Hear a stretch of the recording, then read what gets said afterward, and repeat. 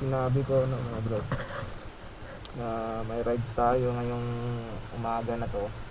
And uwi tayo dun sa dati naming tinitirhan dun sa Banay-Banay Davao Oriental. And as you can see madilim pa ngayon mga brad. Time check is uh, 3.50 a.m. mga brad. Ayan.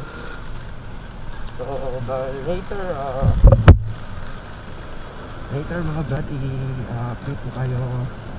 Uh, kasi baka hindi kasi masyadong kuha ng video. And wala tayong view pag gabi mga brad no? so nakikita natin yung mga ilaw lang. Ayan, masyado pang madilim. Salamat no sa opportunity. Lalo na kay God mga brad na binigyan tayo ng time na ganito this, ito yung first ever ride natin sa ating ah, action cam na nabili so gamit natin na long rides ah, long rides.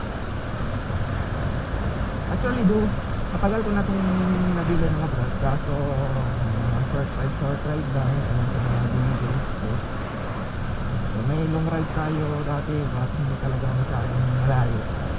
But now ah, this morning talagang malayo mga brad. Ayan. Hopefully na safe tayo. Ah, ride tayo wala kapiriyan mga brad. Wala akong wala akong mga tools sa motor. At ay na ulit tayo pababayaan ni God. Ayan o so hopefully magiging hopefully mag-enjoy. Tayo sa rides na to. Ito lang yung mga sinabi ko.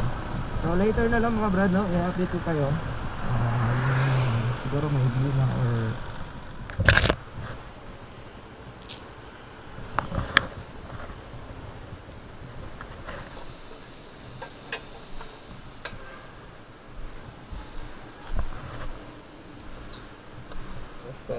para wala na maging aberya.